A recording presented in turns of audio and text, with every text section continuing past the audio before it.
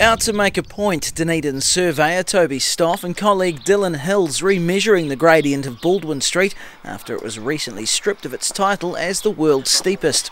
I've seen an error. I say, no, we've got to like recognise that's an error and we, you know, this is the sort of thing that we do day in, day out.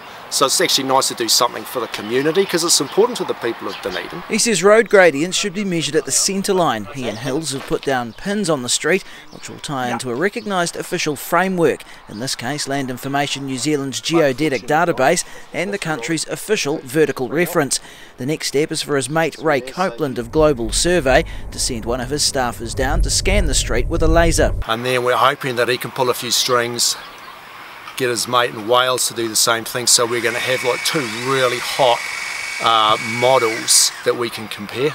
The result would be a super accurate model of the street. Stoff says his boss and some old classmates from the Dunedin School of Surveying are even keen for a trip to Wales to oversee the surveying work. The survey school, like our old boys network, everyone's right into it, you know what I mean? We've got engineers, surveyors, consultants, you name it, everyone's getting on board. But he's reserving judgment on whether Guinness will change its tune if his measurements show Baldwin Street is the rightful owner of the crown. I mean, it's their world record to do with as they please. All I want to do is just say, guys, I've got a whole bunch of professionals here that think your methodology needs updating because I think there's a loophole. They've received the first written confirmation their methodology is correct and hope to obtain further letters of support from regulatory authorities in Dunedin the South today.